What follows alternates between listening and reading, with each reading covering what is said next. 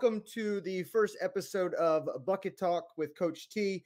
Uh, first guest is uh, none other than Joey Hammond. I'm super excited to have him on uh, as my first guest on this podcast. So, kind of kind of run down a little bit about him and why you should want to listen to what he has to say. We've got a lot of questions and some things that we want to go through. Um, and so, anyway, so uh, Joey was a four-year varsity player at Governor Tom- Thomas Johnson High School, state champion in 1992. Frederick News Post Player of the Year 1995, three year starter at UNC Charlotte, never missing an inning. Um, named All Conference Team in 1998 after batting 398. Was drafted in 1998 by the Orioles in the 25th round and spent 11 years playing professional baseball for the Orioles and for the Phillies.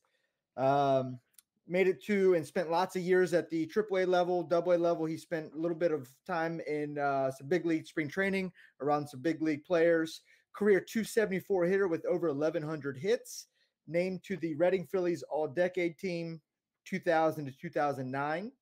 Won three state titles at Westchester Country Day School, appearing in four state titles out of five seasons at the helm, where he's built a program and developed dozens of college baseball players and dozens of college grads. Currently, the, the assistant coach with Wake Forest University serves as the first base coach while working with hitters and the outfielders has worked and developed several top uh, draft picks during his time with the Deacs. Um, obviously, right now, runs a travel baseball program as well, very competitive in that market, and was also named the 2019 YMCA Frederick Sports Hall of Fame inductee as well. Uh, father to three boys, Caleb, Josh, and Mason, husband of Rebecca, uncle and hero to Travis, loved and respected by all. Joey Hammond, ladies and gentlemen. So, um, did I miss anything? Did I get anything wrong? I don't know. I was about to take a nap. That was a long one, man, but I, I appreciate that. Well, when you have a long, good career, you know, you deserve a long, good introduction. I guess apparently. I appreciate the last part the best, though. That's the truth. Absolutely, absolutely. Me too. Ex- me too. So, um, so obviously we've been trying to get caught up and uh, for a little bit now and kind of talk about some baseball. And so I want to start there, just spend maybe 10 minutes or so talking about some baseball, just catching up. Obviously, unique times, um, unprecedented times. And so just wanting to get your perspective, kind of your thoughts. You know, we're three to four weeks removed from, you know, NCAA shutting down the season, things like that happening. Kind of walk me through where you're at now versus where you were, you know, four weeks ago when this thing kind of first hit.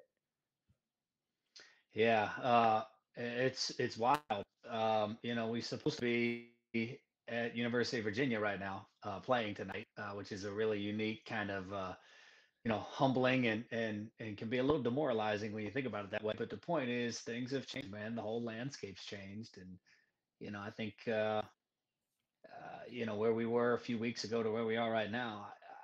It's it's it's outrageous to think about that and uh, the new normal that we're going to have to get used to over a period of time. Uh, I think everybody's handling it in different ways. I don't think there's any wrong way necessarily, but um, you know, it's been a lot of uh, moments of reflection, and uh, uh, you know, the benefit obviously is get to spend more time with your family, which is yeah. certainly a huge benefit. Um, but uh, the transition is is certainly not. He likes to be active, and, and most folks in our profession, it, you know, prefer to be active. Um, and it's been a challenge, but uh, but we've been really resourceful in the ways in which we reach out to our players and communicate with them in different ways. Uh, learning a lot more about technology that I've ever learned before. Yeah. Uh, but uh, but again, it's it's just a different time, you know. Yeah, I, I understand completely. So, where are you at as far as again the first, just personally, you know, uh, being a baseball lifer, obviously loving the game uh, as much as I do, if not more. Um, so, what's you know, just from that kind of personal perspective, not necessarily the family, not necessarily your players, but you know, you not being able to turn on a live game, or you not necessarily being able to go and do, you know, what it is that you that you do for a living. Um, how has that impacted you personally? And kind of what are some things that help you continue to kind of go through the grind and the monotony of each day, knowing that we're going to get back to work? I mean, how has that impacted kind of your preparation and staying focused, yet still finding the silver lining and and obviously the good and the bad that we're currently experiencing. Yeah, you know, I think um, I think you're just kind of working our way through that right now. Uh, I think we're trying to figure that out, and uh, you know, for me, it's it's it's not been easy. Uh, kind of gone through the full gamut and wide, you know range of of of actions and, and even emotions from that standpoint. But uh, um, you know, kind of things that that that I'm doing is is just you know not watching any obviously live games, but there's fortunately been a lot of old old games have been on. You know, on MLB Network, there's a lot of old time games that uh, that are on and and refresh my memory of some entertaining. It kind of dives back into it. Um, some memories of youth and childhood, and all that kind of stuff. But uh, but you know, one of the things that um, that I've been doing to try to stay fresh and and to see, like you know, many people, it's probably still a little early to think about this, but know, in times of crisis and situations like this, there's a lot of time, a lot of things can be born from situations like this, and it's hard to look at it like that right now. Um, but uh, but there's going to be opportunities that are going to come from this. Unfortunately, because a lot of people are not going to take advantage of this time, and they're not going to be prepared to hit the ground running moving forward um, there's going to be a lot of opportunities lost by people because they didn't take advantage this time to continue to, you know, improve their craft and their profession. And so, uh, one of the things that I've tried to do, and again, you mentioned our travel organization that we got from nine years old, 15 years old, and there's over 100 kids, is uh, each day in the morning, I'll send them a daily plan. Uh, every one of our kids, um, not it's not individualized, but there's a a text message and email that I'll send out through all our coaches, and it'll have some physical drills for them to do. Um, you know, a throwing program. Uh, you know, different little drills you can do the. And again, most all of this is is under the the impression is if you don't have access to a facility, it's literally in your backyard. It's uh, you know, with or without partners, you can do a lot of this stuff on your own because certainly we're in a kind of a quarantine type time. And uh, you know, so it'll have some physical things, um, some different drills, some different exercises to stay in shape physically. And then my favorite thing is there's a baseball IQ um, question, scenario exercise every single day. It may be something like, um, you know, a mental rep of of the process is like from going hole to on deck to in a batter's box and, and the different things that should be going through your mind through that process. And other times it could be, uh, I could send them a clip of, uh, bottom of the ninth inning of a big playoff game and then have them walk me through different scenarios that had happened and at each position and you know to even some history lessons as it relates to Wally Pipp and Lou Gehrig and different things like that. Um, you know, just trying to keep their minds fresh and taking advantage of this opportunity for them to develop, grow, and improve, so that when we do hit the ground running after this, our guys didn't miss an opportunity. And um, and hope is we come out better yeah, absolutely. Now, are you seeing what's kind of the the feedback um, on that? Is it mandatory to complete these programs uh, or the complete the daily drills? Is it optional? What kind of um, engagement? Because obviously, every coach out there, you know, myself, I just had a call with with the coach that I work with. Uh, we're all trying to find ways to get better and and obviously engage kids from a distance. Um, what are you seeing as far as engagement percentage? Um, excitement, or are you in your teams like most other teams where you know some will, some won't, um, sort of thing? So, what are you doing to increase engagement, but also where is your kind of engagement with with that? So I think it's pretty strong. I've been hearing positive things from our coaches uh, as it relates back to you know messages sent from uh, players. I've actually encouraged them to continue to send me videos of different outside the box type training that they're doing on their own. Um, so I think the, the, the response has been positive. But again, you got to keep in mind this is a, a market of of kids that are are you know this is you know we specifically target players who uh, are interested in the development of the game and not just going out and trying to compete and win games all the time. And so this is right up their alley. Um, having said that, you're also dealing with nine to 15 year old kids. And so the reality is you give them a bunch of time and all the different distractions in the form of video games and all those things can really you know take take hold. And so i don't know the exact answer to that. And and truthfully the measures that we're doing um, me specifically or our coaches uh, we're not really making it mandatory um, but we don't make a lot of things mandatory. I mean the reality is this is their career we want to to impress upon them um, that uh, there's opportunities there's resources there's there's things that are out there but at the end of the day, you need to take hold of these things yourself. And if it's important enough to you, then you'll make it important enough to do this work.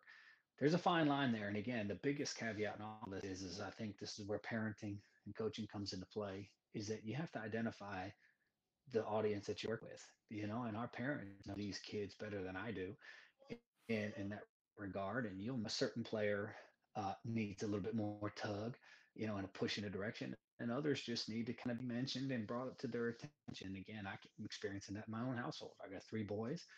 They have their daily plans every day. And in some cases, in some some of my boys individually, I may just mention, hey, you know, you're getting fine. You need to go out and do the drill and that's enough to go. And others, it may take a, hey, man, I'm tired of sitting here watching this. You, you're going to go out and do something. And sometimes you need to push some of that motivation. But at the end of the day, I'm really hesitant and careful with that because, you know, I want it to be important enough to them for them to do it because I know there's going to come a time in which you're not going to have a parent there to hold you by the hand and to physically make you or force you to go do what you need to do I know having lived it, the college to pro ranks, there's not going to be people there that are going to motivate you, encourage you. In fact, you'll actually get some of the opposite of that and some of your teammates in a pro ball scenario that are friends, but they're competing against you too. And they're not really interested in you going out and continuing to get better to take their job. Uh, they're happy with you being content and playing video games and not getting any better. So I'm trying to help put this information out there. And, uh, and if it's important enough to them, they'll do it. And if it's not important enough to them, then they won't. Yeah, makes perfect sense. And and I, I figured um, I figured that's exactly what you'd say because you know I, I obviously had a front row seat to your career for for my entire life, and so um, I saw no one no one was there pushing you out the door. Uh, no one was making you go to do it, and and the same thing. No one pushed me out the door. No one made me go do it. But you know, we grew up just always playing baseball. You know, I have this. Uh, the little mini bat by my desk. And I always remember that, you know, the paper paper baseball games that we played and the, the ghost runners and the situations, man, we didn't, you know, we didn't just take a bunch of boring reps off of a tee because I know that can get kind of old and monotonous. Uh, but we were always playing the game. We were always studying the game. If it was raining, we played indoor baseball until we got in trouble. Um, you know, and then we moved into video games when those things started to come out. But you're still learning the game. You're still around the game. So how do you balance that? Obviously, kind of again, being that baseball lifer, no one ever had to push you out the door. In fact, you had to be called in uh, to stop practicing baseball. So how how have you seen kind of from where you came up in the you know through the late 80s early 90s little technology way more baseball and that was just something that you did but how do you kind of balance that i mean what's that what's that look like from a parent's perspective or a coach's perspective from man, I'm just a lifer. I'm a grinder. I love baseball. I can't get enough versus, hey, this kid, you know, he could kind of take it or leave it. But how do you allow them to be on the team, but not necessarily push them? How would you approach that if you had a kid on your team? Yeah, it's hard. Um, it's hard. And, uh, uh, you know, again, it's different. And so it's, it's easy to say, Hey, back when I played and baseball, things are different, you know, yeah. things are different. I don't think kids are different.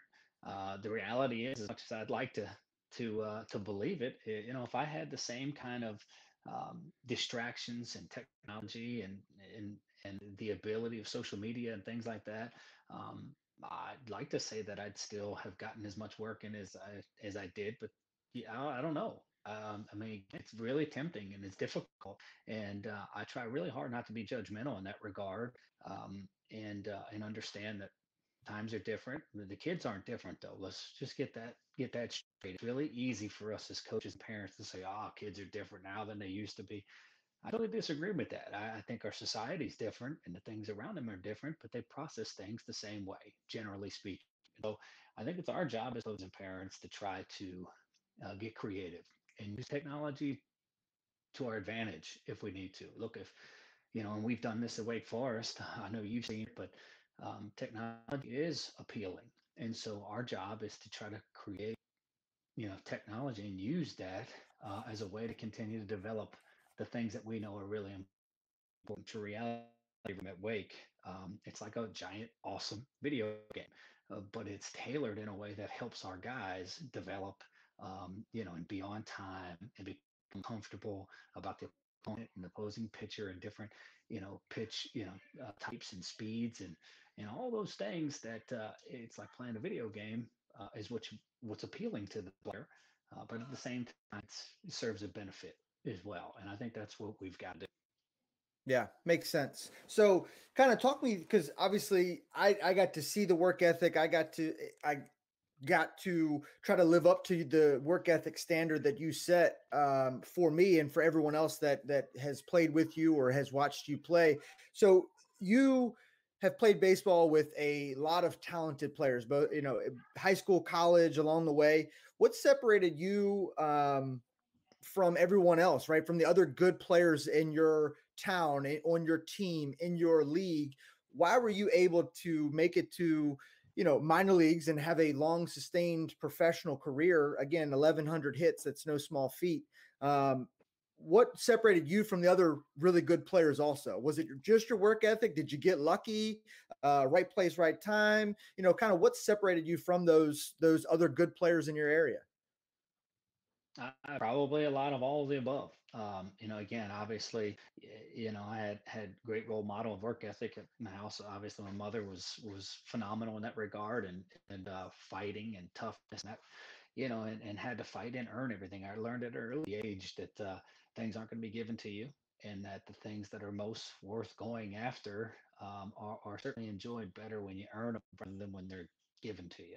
And so, um, just kind of, I guess I appreciate at an early age that when you earn something and it, it comes to fruition, that's just a great sense of accomplishment. And, um, and, and certainly realize that, you know, the harder you work and the more work you put in and the more you develop, then the more likely you are to experience success. Doesn't guarantee it, but the more likely you are. Again, who doesn't like to be successful? So realize that kind of early on. And so maybe that work ethic, drive, um, example, uh, certainly played a role in it. But but look, you know, I was fortunate enough to be around really quality people and quality coaches at each stage of my career, life, and uh, they were all there at the perfect time for me for the perfect area of development that I needed. And so, in that regard, I'm certainly blessed and fortunate. And, um, was blessed with some God given God given ability, but um, you know, I guess just the daily drive to want to um, be able to put my head down on the pillow at night when my career was going to be over and have no regrets in that regard um, from a,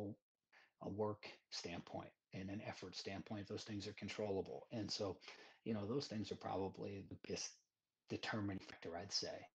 Yeah Okay, fair enough. I love it. So you kind of uh, we had a question I was going to come to, and you kind of mentioned it. Um, do you have any baseball regrets? Do you have anything? Do you have uh, looking back and say, if you know, I could have worked harder here, or I had some more time here, or I kind of got distracted here, or literally when you lay your head down tonight, you know what? I gave everything I could to my uh, professional baseball career, and um, obviously the result speaks to that, but I'm satisfied? Or do you have some areas where you're like, man, I could have worked a little bit harder? Even being a hard worker, did you still leave any on the table or you literally gave it all?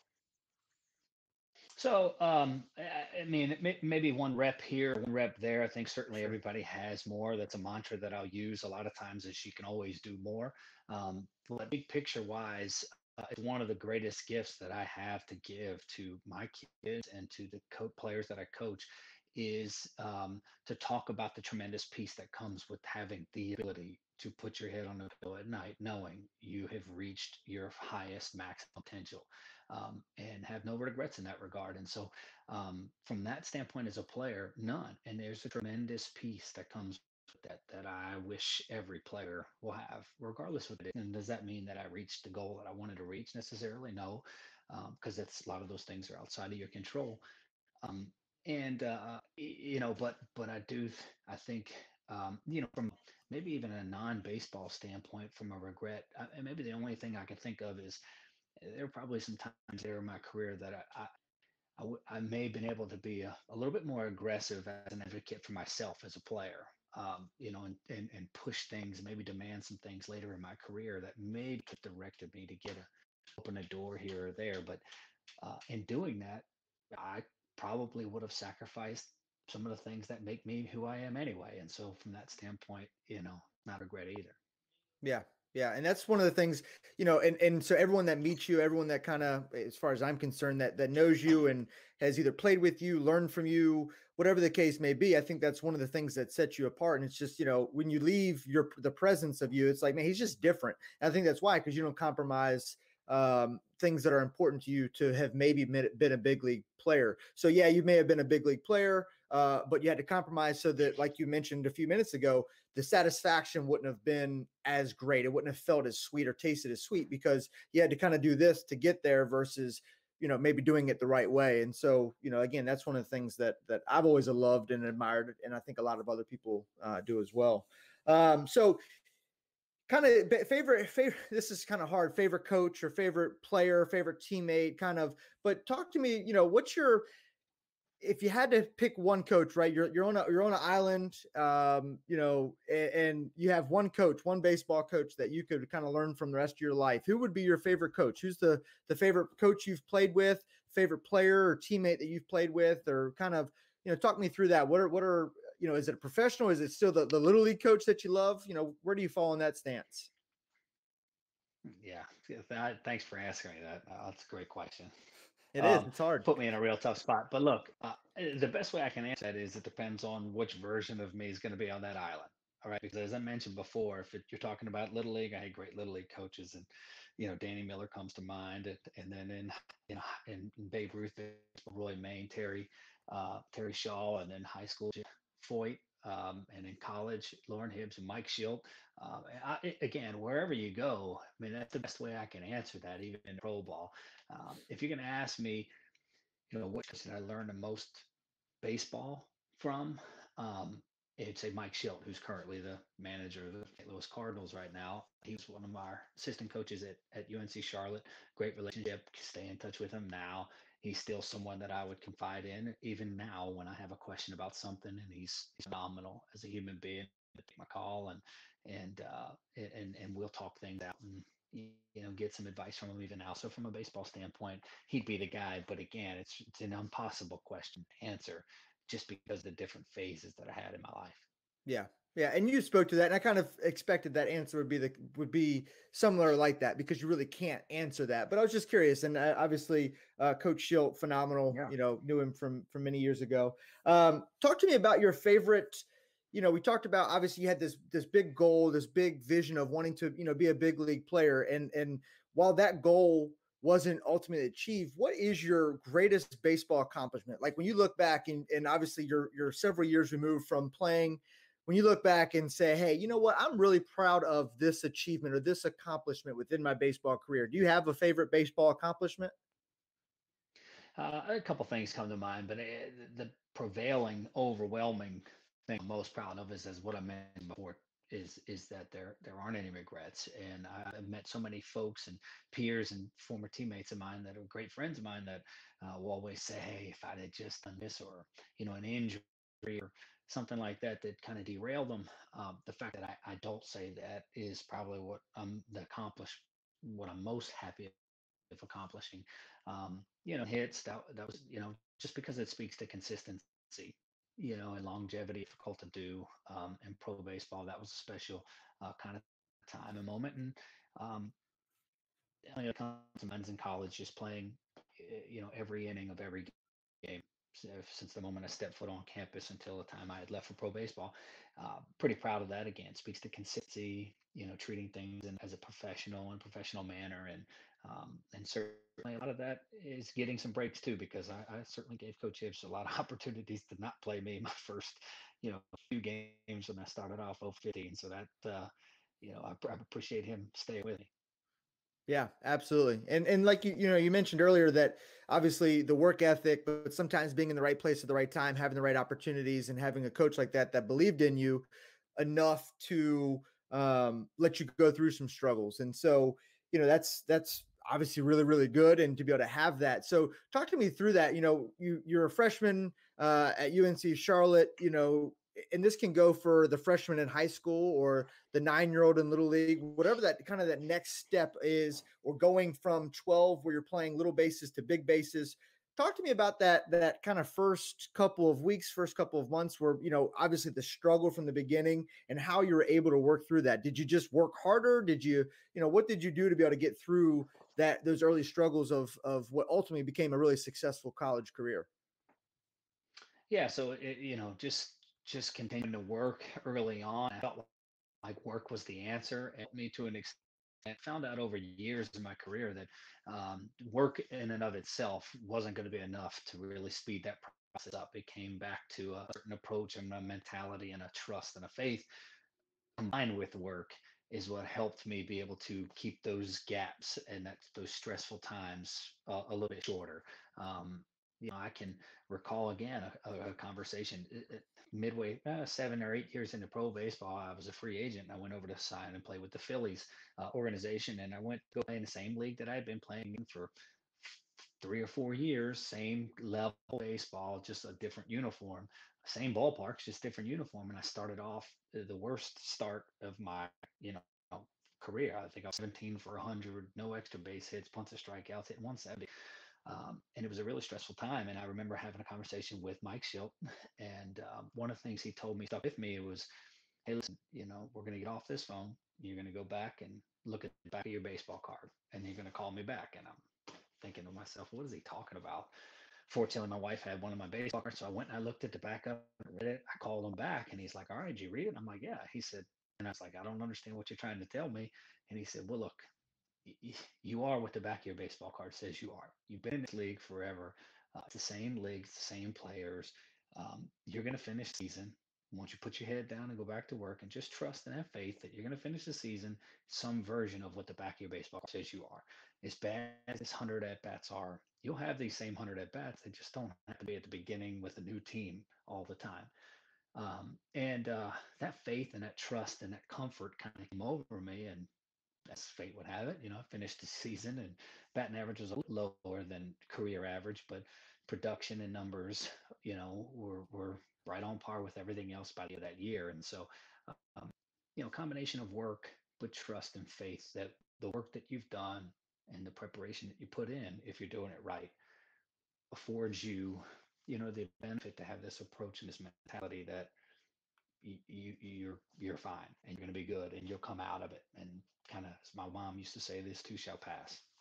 Yeah, very good point. Very good. I, I remember that season. I remember some of the phone calls uh, that you had uh, back home, so to speak, and and and so mm-hmm. um, obviously, you know, and I've heard a different version of that where you know you take this and and uh, you know different bite-sized samples but obviously as we know in baseball that you know this 100 at bats may go really really bad but you know it's just one little click one little you know uh, situation where the next 100 at bats i mean it could be unreal. So staying kind of focused and so um, that brings me to kind of the next thing obviously as a baseball coach so we've kind of talked about and covered baseball player uh, but let's kind of move into a little bit of you know baseball coach really starting kind of when the when your career uh, ended and you became, you know, became a high school baseball coach. Um, you know, walk me through that kind of that transition of going from, you know, player to now coach and not really having yes you had done some lessons and things like that but not actually really being a coach of a team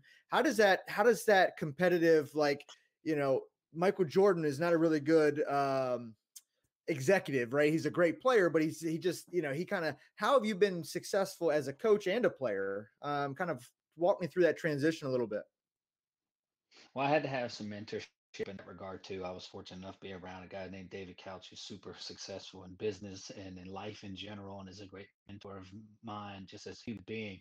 Um, and he was right there with me through the process. And what that helped with was just just my general presence and the way in which I would handle adversity and how I would understand how leverage works and conversations and just those types of things that I just didn't really realize I didn't know and maybe did while I was playing, but just didn't really understand and how my body language and uh, to ask myself, what does it feel like to be coached by me? And those are things, those kinds of tough questions are really important. And I was fortunate enough to have um, David be around me to kind of bring those things to light. The baseball stuff was simple.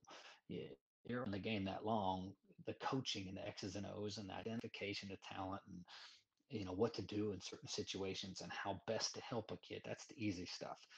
Um, it, the, the challenging part is the ability to take that information and make it relatable to a player.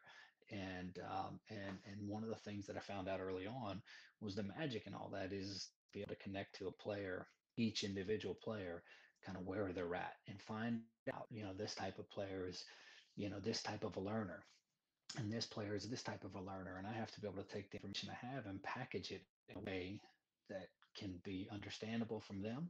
Um, you know, some guys you need to get in their face. Some guys you gotta put your arm around them and uh, coaching, that's what coaching is. You have to identify is this a guy who I need to kind of get on a little bit, or is this a guy to pick up a little bit more, um, and, and kind of you know be a psychiatrist, so to speak, is is the best way to really look at it. So, um, the baseball part was pretty simple, but uh, but I had some great mentorship in, in that regard from a you know leadership standpoint. Yeah, yeah. So, so I, I, mentioned kind of in the intro, um, and I, am thinking I got that correct. But you went to you appeared in four state championships in five years and won three of them. Yeah, that's right. Okay, so help me you know obviously that's a that's a big deal right? And so we we say that and sometimes you know even uh, myself kind of watching that happen and being a fan from afar and different stuff you know you say that it's like oh you know he won three state championships out of four in in five seasons. And we just kind of say that it's like oh, it's just you know but i mean it's really it's really a big deal. So what are what are some things that you know you did to ensure obviously winning a building program? What would you say you know is is the the core of uh, what you teach and what you preach and what you're about to really be able to create a winning organization and and winning program that obviously two of your three sons are now fortunate enough to be a part of and play in and develop in but you, you kind of you got that started i mean and you built that. So what are what are some things what are the core what's the core of of what created that program and that successful formula that honestly had you stayed you know you probably would have been repeating it by now the, the, the first thing is um, there's no replacement or no matter how good of a coach you are, if you don't have players, you don't have talent, you can't win. Uh, I don't, I don't care who you are. Um, look at every single successful coach that's out there, and they've got multitude of great players. So that's the first thing. Uh, if you don't have ability and talent, you can't win. And certainly did we did in the form of guys that are playing pro ball now, a high number of players played at college, and so that that certainly played the biggest factor in all of it. Um, you know, from an approach and a mentality and a you know coaching standpoint, uh, one of the things that David and I kind of instilled there was this this this premise of uh, and this understanding that we trusted that um, that if you do things the right way and if you value the right things like being a great teammate being accountable uh, working hard uh, being a great person on and off the field. Um, if you do things the right way then winning will be a byproduct of doing those things the right way and that it doesn't necessarily work the other way around. Just because you win when you put an emphasis and focus on winning look i, I want to win all right? Food tastes better when you win like i'm i'm a big fan of winning. Uh, but i understand that when winning is the focal point it doesn't necessarily mean that the byproduct is you get better as a player and you're doing the right things and you're a better person but the flip side of that is true when you do everything and you develop and each and every player on your team gets marketably better, then your team gets better. And when that happens, you win. And so we were able to get this buy-in from our, our players uh, and build a culture that trusted that if we did things the right way and if we got better individually, then our team will get the result. Fortunately, we were able to do that in a quick manner, and uh, it continued to breed some buy-in and uh, had a good good thing going, and it's certainly heading in that direction again. Yeah, that's awesome. That's awesome. Um, so I'm gonna kind of change gears a little bit, and then maybe kind of wrap up with a few questions, kind of some some parting things for young players. You know, maybe something to be doing during during this time. What you look for, kind of in a college from a college coach, like some things that you look for in a player. So we'll kind of get to that, but I'm gonna kind of change gears, maybe lighten it up a little bit, be a little bit more fun, and just kind of go through some word association and just you know give me one or two word answer. I give you a word, and then what do you associate? What do you think when you hear the word? Um, so we'll start out with baseball. When you when you hear the word baseball, I mean, what does that? What does that? What's the first word or the first phrase that kind of comes to your mind? Uh, love and life. Love and life. I'm pretty simple. Fantastic. I, I know where I get it from. I feel the same exact way. Um, how about coach? Uh, mentor, um, and uh, I think that's just a better. I mean, just mentor and love again. Yeah. Uh, what about diamond, as in baseball diamond? Uh, a safe place. Okay. Uh, Derek Jeter. uh, the captain, the leader. Yep. Uh, how about Cal Ripken? uh, the same, a pro. And I said with all the respect in the world, like I think that's one of the greatest terms and accomplishments that someone could be could be said about them is that they were a pro. I, I take that word and I probably emphasize that word a lot more than what most people do. Um, uh, that that word from a lot of professional players, when you call them a pro, it means a lot more than just getting paid to play a game. It, it's the way in which you go about yourself, and he's the consummate pro. Yeah, that's kind of like the, the man's man, right? You know, we're all we're kind of men by we're, we're, men by birth or men by gender, uh, but it's that man's man. It's the the the man above other great men. And you know, obviously, we we grew up right outside of Baltimore, going to Camden Yards many times, watching Cal Ripken uh, do his thing, and obviously had a chance to go to uh, baseball camps, Cal Ripken baseball camps. She met Cal Ripken, so um, we'll come back to that in a second. But yeah, I mean, the the, the pro is, I think, yeah, and and I, I, can completely relate. So I'll leave it there. We'll come back to, to Cal Ripken in just a minute. Uh, how about Pete Rose? Uh, a gamer. I mean, that's the best way to tell you. Dirty and a gamer. Yeah. So I think for me personally, I think, you know, pro, right? So it's like, man, it's a pro, that man's man, and then gamers like right below that, right? So, you know, you, we, we all yeah, want the Cal right Ripkens on our team because they provide the leadership, they provide the consistency, they provide the you know what you're going to get day in and day out. Obviously, 2,600 games in a row, you knew what you were getting.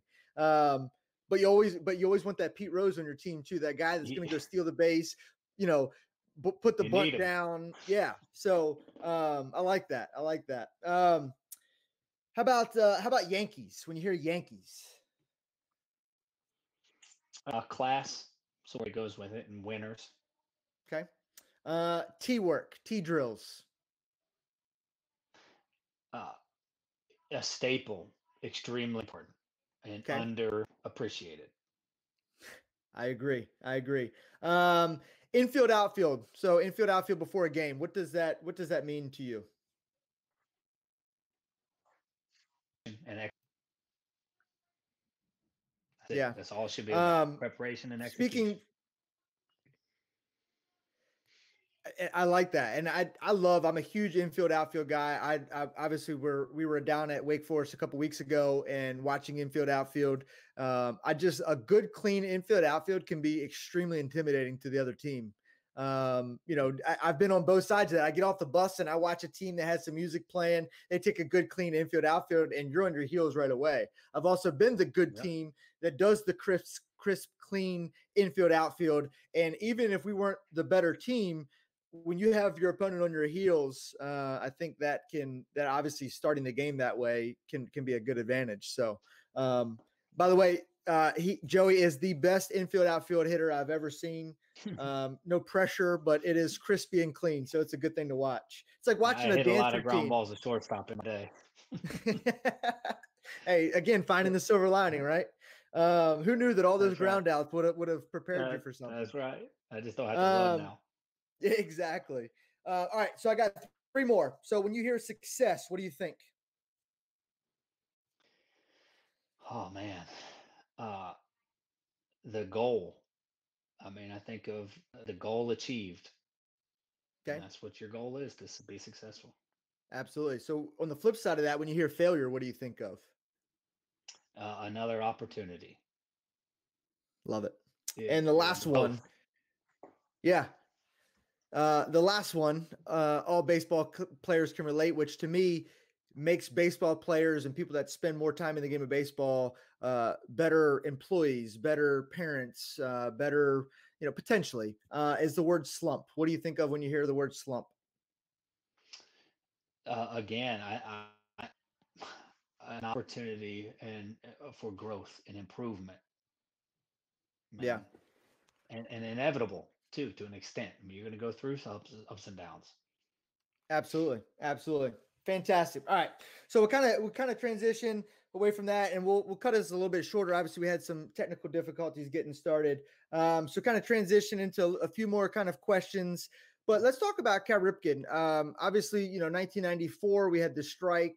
Um, eh, you know, if you're unfamiliar with the strike, the players and owners couldn't get on the same page financially. So, you know, we talked about that personally off off camera the other day, but you know, Cal Ripken, kind of talk me talk me through 1994 and the disappointment of no baseball towards the end of the season, and then 1995, how Cal Ripken and the chase for the streak and all that. Kind of the best you can walk me through that because I feel like a lot of fans were mad at baseball because they were bickering back and forth versus this this issue is not a is not a baseball specific issue right? I think we're going to be more unified coming out of this as a baseball community.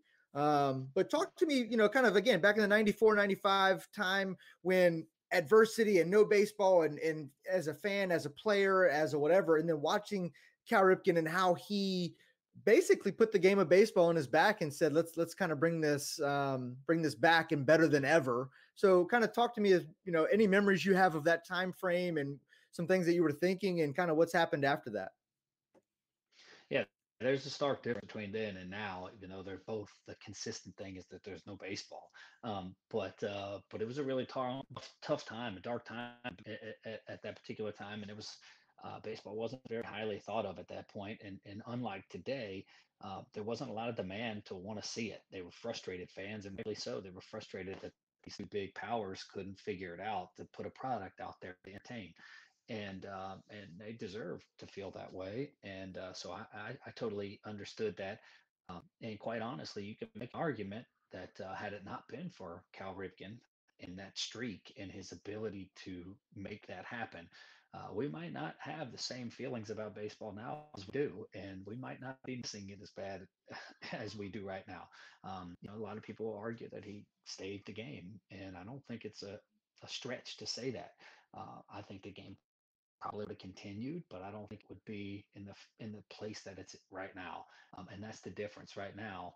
You know, fans are longing for it; they want it. And the reality is, though, there's still some damage in place. It's going to look different, and it's going to be different um, just like it was different when they came back from the strike and we needed something to rally behind. And my hope is, and I'm sure that will, there's so much talent out there that we'll have another Cal Ripken of sorts to, to, to hold on to uh, because there's a lot of things, even as much as we like it, there's a lot of things about baseball that people aren't really happy about. You got the Astros scandal and just a number of different things that uh, are not, but the reality is it'll come back. And when it does, there'll be a new positive story like a Cal Ripken that can continue to carry this thing, moving on to the next generation and the next. Yeah, yeah, it makes sense. Um, you know, I I agree. I'm in the camp that Cal Ripken save baseball. I think you know, uh, fast forward a few summers after that, 1998. I think Mark McGwire and Sammy Sosa uh, chasing the home run record obviously took what Cal Ripken saved, and those two guys in that competition uh, took baseball kind of to the next level. Um, with some controversy that obviously went along with that, which you know we'll save that for another conversation. But I definitely think mm-hmm. Cal the game of baseball, and then like I said, Mark McGwire and Sammy Sosa, you know, kind of took it to that next level, and then Barry Bonds and and so forth. Um, mm-hmm. So when you think of when you think of baseball and you think of how it corresponds to you know life and and failure and and how obviously you're going to fail more than you succeed. How do you how do you um how do you use the game of baseball to to coach and mentor? You know you you mentioned earlier coach as being a mentor. So how do you use the game of baseball to and the failures that go along with playing a, a sport as hard as baseball and, and connect it to you know struggles in life and connect with that young player and kind of say hey you know this is okay. Like how do you how do you help a kid through that slump? How do you help a, a how do you help someone else through slumps that you've been through and needed help through also?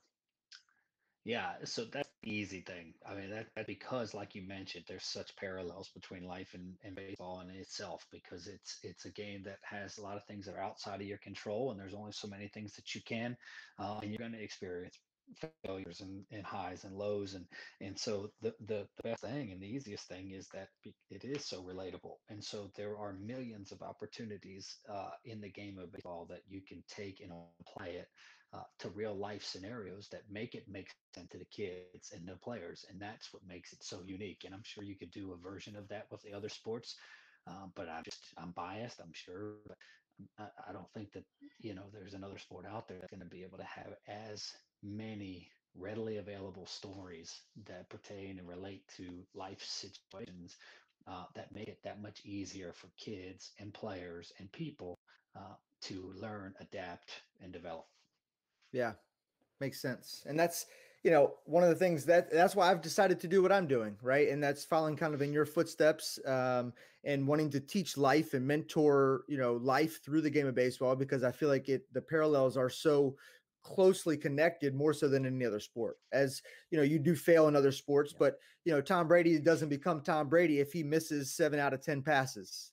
Um you know yet derek jeter is going into the hall of fame this year as a 300 hitter which basically says he failed seven out of ten times.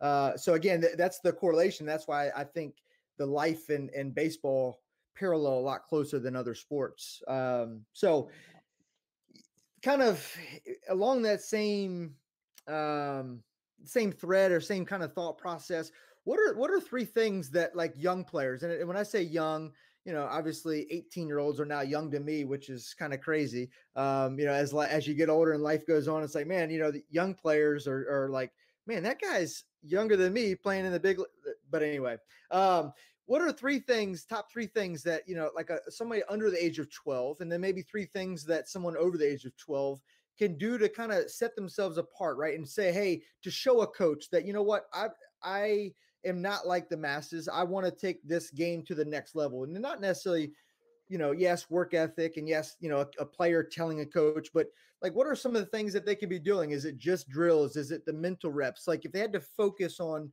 specific area to, to really take themselves to the next level and say, hey, I want to be a real contender as far as baseball is concerned. Um, what are what are some some things that they should really be focused on?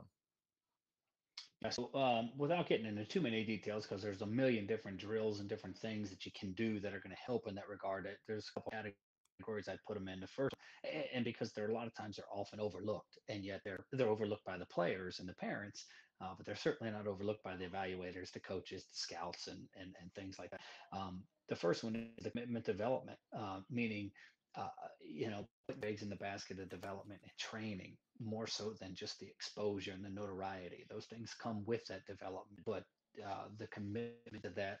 Um, the next one would be, uh, and this is what's lost on a lot of people, is the type of teammate you are that really matters. It really is important. And college coaches and pro scouts are absolutely looking at that uh, focus on being a great teammate. That doesn't just mean uh, be the guy that they can count on in certain situations. It also means uh, putting others ahead of you, making sure that you have your middle infielders having their hat ready and they're going and you're playing catch and that you make yourself available and you're picking them up and you're patting them on the back and being a great teammate. Genuinely invest in your team.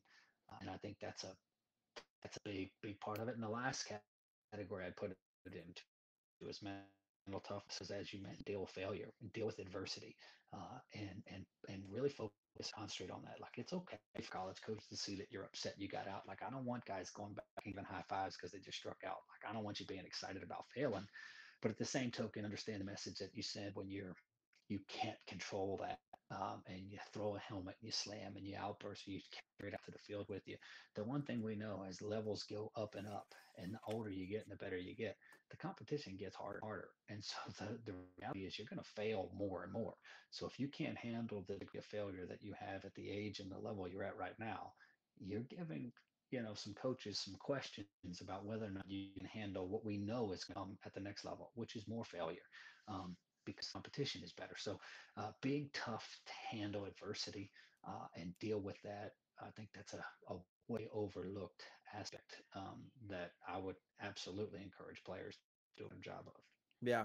So how do you, you know, if and and you know some people are born with born into and experience more adversity and more life than than others. You know, I, I talk about I experienced way more life in my uh, 18 years before meeting my wife than she did in her 18 years. So if you don't have adversity or if you're not ex- exposed to as much adversity or life, so to speak, what's what's a way that you can really, you know, is there a way that you can train around that or kind of can you train that mental muscle or how do you train that mental mental muscle, especially now without striking out, right? It's hard to simulate the feelings of a strikeout with the guy, the tying run on third base. So how do how would you practice mental reps and mental strength especially right now, but even when things are back to normal, so to speak. Um, how, how do you practice mental reps? Like, what do you, what's something that you can kind of help us with to get better in that area? Yeah, so so this, again, this is a simple one here too because it's a great question. A lot of people don't know or they can't look beyond their own situation, but it it, it speaks to being a good teammate having put yourself in other people's positions, whether you have a difficult time or not. Uh, if you have empathy and you feel for your teammates or you feel for your friends or your community or whatever, it's easy to put yourself in their situation and feel to a degree what they're feeling, whether it be failure, success, tragedy, trauma, whatever. Um, and uh, that's a really easy way to do it. Uh, but you got to think outside the box. And again, empathy is a is a trait that is lost on a lot of people. I think it's really important to be able to put yourself in their situation and be a good teammate and allow yourself to think what that might feel like. And uh, it certainly can prepare you for when the situation hits you in the face.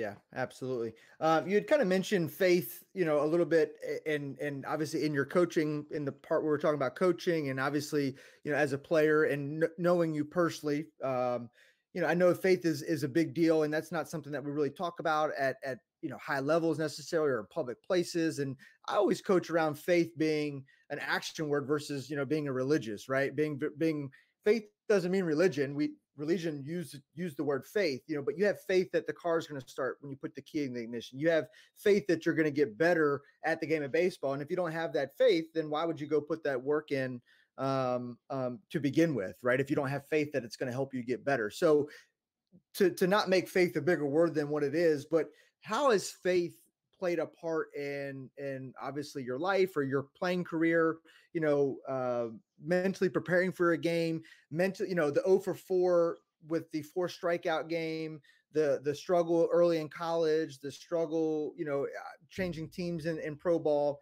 How has faith played a part in that and being able to kind of pick you back off the mat and keep you going? Every day word you're you're absolutely right it has been forever in the state of my life, whether it be it's it's in the meaning uh, that's based on religion uh, or to your daily actions. It's been all my life, and it has been, and it will continue to be. And I just don't know how uh, people can go through a day in their life and function without having that as a center, you know, force. And um, and I know that they do, and uh, but I can't relate to that. And so um, it plays a huge role, um, and and it helps you pick yourself back up and the faith that you know that uh, this too shall pass. An opportunity will be presented to you, um, and to take advantage of it, and have faith in your preparation and the work that you've put in. Have faith in your relationships. Have faith in your partner. Have faith in your uh, friends and your family, and all those things that come into play. A huge part of my life on a daily basis, and as you said, it's great, great way to put it. It's an action word. Yeah, absolutely.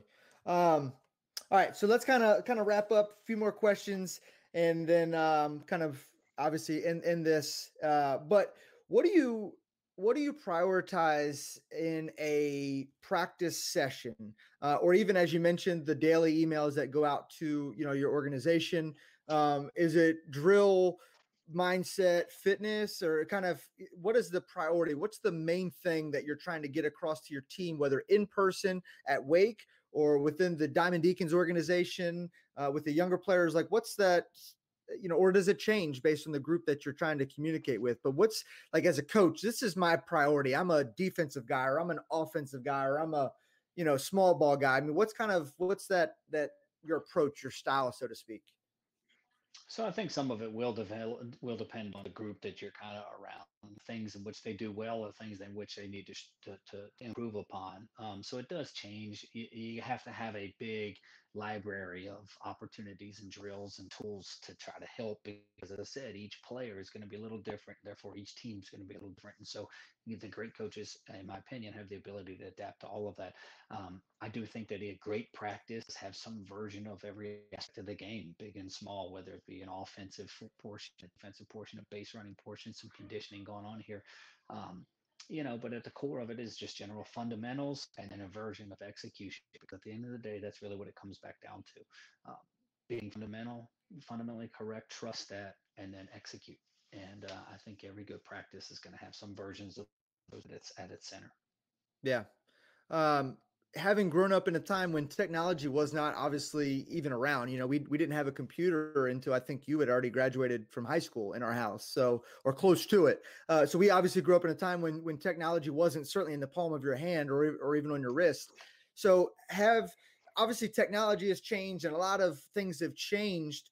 What is what is kind of that core of baseball that you know what I don't care how fancy you get, I don't care how you know technology, VR, whatever the case may be, it doesn't matter. This in the game of baseball has to be there or it won't be the same or or what hasn't changed what's still just the same with baseball as it was back in the backyard playing pickup games versus now where we're doing virtual practices and we haven't even touched virtual reality yet. What's but what's kind of stayed that same simple. within the game of baseball? Yeah, it's simple again. Uh, competition, man. Compete. Uh, the the guys that can compete and that uh, make that a priority, make that important, and that appreciate that fight, that grind, that competition, and they thrive in that situation. It doesn't matter what surrounding situations you put around them, um, they're going to be successful. Again, you, you, can see the greatness really come up when you add technology and some of these different techniques to that. But at the end of the day, the greatest competitors are going to be your best players, and that's always been that way, and it'll always be that way. Yeah, absolutely. Uh, what's what's a thing? What's a, a, a thing that you wish? So going from kind of old school baseball to this modern day travel uh, baseball uh, atmosphere that we live in, which obviously we know is not going to go back to the way it used to be. Um, anything, you know, just like a rubber band, when you stretch it, it never goes back to its original size.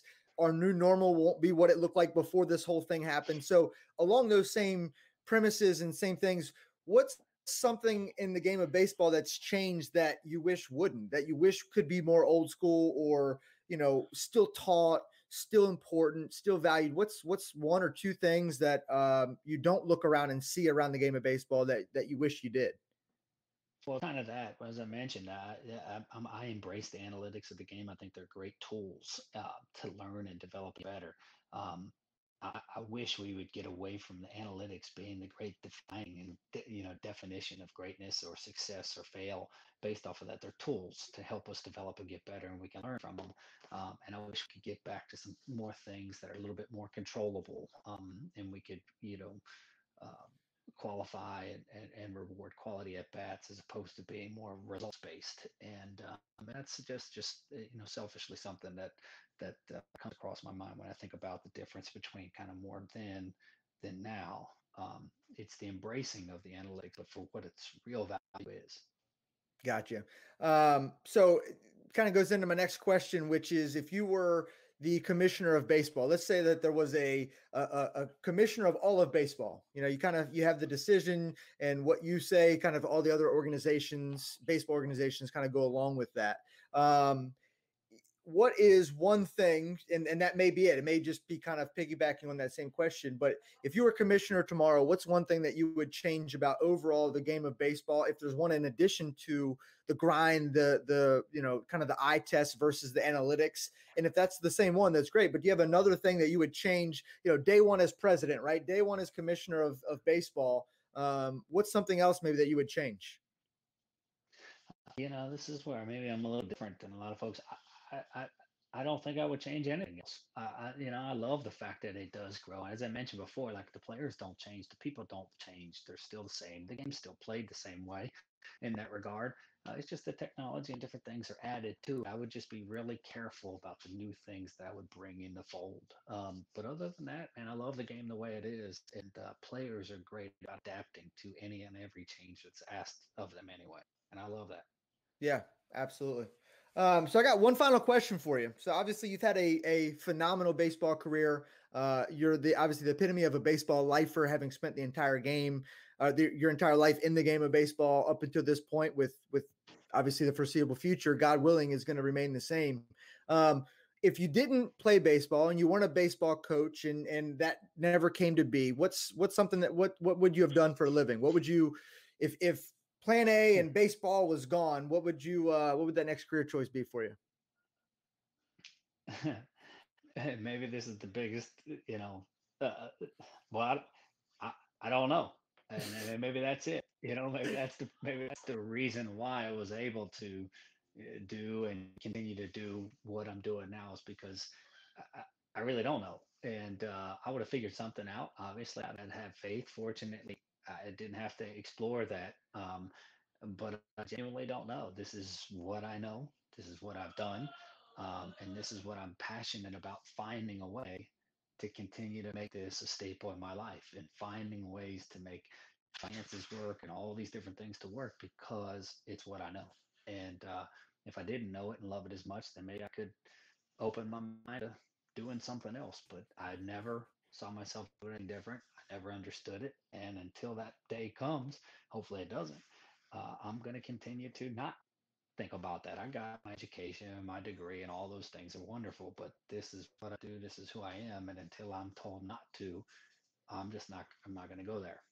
Yeah, absolutely. And, and that's something I can appreciate. And that's, you know, I, I heard a uh, Derek Jeter, I read a Derek Jeter quote or interview, and somebody asked him very similar question, you know, what would you do if you weren't the shortstop of the New York Yankees? Like, I don't know. I never thought about anything other than being the shortstop of the New York Yankees. So I, will figure that out when, you know, when I'm not the shortstop of the New York Yankees anymore. Um, so I can, I can appreciate that answer for sure.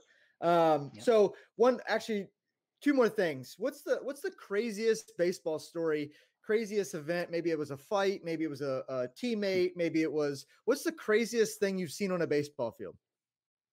Well, we've had fights, we've had things. I'll tell you, the craziest things are certainly not able to be shared on this uh, on this podcast. That's for sure, uh, because um, you know baseball players are unique, man. There's there's things that are considered normal and okay, and and the you know just the norm in baseball clubhouse that are certainly anything but normal in a typical societal setting. So um, I can't really share much of that, but I've been in fights and brawls that are always unique and and and, and memorable in that regard. But some of the craziest stories are needed to be shared in a different venue. That's for sure. fair enough. Fair enough. Uh, wasn't there? Wasn't I, I? think I remember a story from when you were playing summer ball out in Kansas, and and wasn't there snakes out in the outfield, or you had to beware of snakes? Oh, oh yeah, Oh yeah, hundred percent. I, I a guy I was playing out there, and I just out to make a play at shortstop and short and left field, made a play. And left fielder came in, and we kind of crossed paths. I made the play, and I threw it back in. And next thing you know, I hear left fielder screaming. I'm turning around. What is he doing? And I, he's there's a snake right there, and it's just gigantic bull snakes in Kansas. They these big, whatever. They're not poisonous, whatever. And the second baseman comes running out, and he's I forget what college, maybe East Carolina, I think. He comes from he comes out there and he grabs this thing by the head and runs all the way out over and throws it over the left field fence. And I'm like, golly, you've been around snakes all your whole life. Are you not? And he's like, no, I'm just so scared of them. I just couldn't handle playing this game knowing that that snake was on the field. I'm like, geez, okay. Yeah.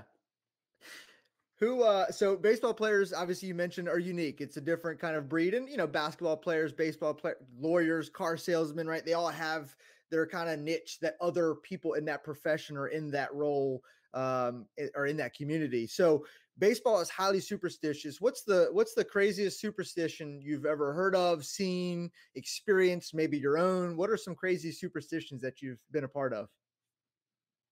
I, probably I, again, I know that they're out there. I never really paid much attention to them. I'm sure I had my own. I call them routines, not superstitions. By oh, the way. Um, of course. But, but, yeah, that's what they are. Um, so there's a lot of little ones about kind of how you go about getting dressed and food you eat on different game days and things like that. Um, I don't really know because I never really paid much attention to them, except for to know that uh, we'd have certain players that would uh, go through certain dances in the clubhouse to spark a streak when things aren't going so well. And those dances were often very eventful. And uh, again, not not glad there were any recording devices going on in there. Absolutely. Absolutely. So, um, what's the the what's the way that we can make baseball uh you know maybe more fun and i don't i don't get that like uh, you know i don't need it to be more fun i love baseball as it is three hours three and a half hours a one nothing pitching duel a, a 10 9 you know just slugfest i i love baseball in all shapes and, and sizes um I don't discriminate against base. I just love baseball. So, but what's something that maybe we can make it more fun and make it more interesting, or kind of capture that fringe group of people to bring them in and kind of make them um, baseball lifers, so to speak? To me, this is easy too. It, look, it, they started doing it. I love the microphones yeah. during the games. I think it's the greatest thing that we've done in a long time. I think it could take way over the top from a baseball standpoint. I think it's the greatest. Uh, I, I'd encourage that to continue to be ramped up all the time.